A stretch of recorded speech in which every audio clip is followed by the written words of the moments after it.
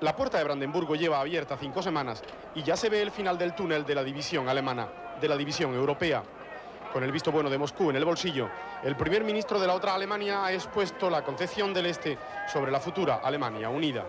Alemania capital, Berlín, sin prisas, pero sin pausas. Unter den Zweiten Weltkrieg zu ziehen, einen deutschen Friedensvertrag abzuschließen.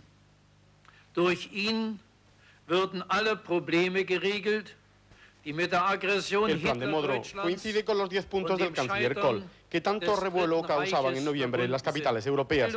Comunidad contractual primero, confederación de dos estados alemanes después, para acabar con una federación alemana, la Alemania patria unida, que con tanta insistencia reclaman los otros alemanes a diario en la calle.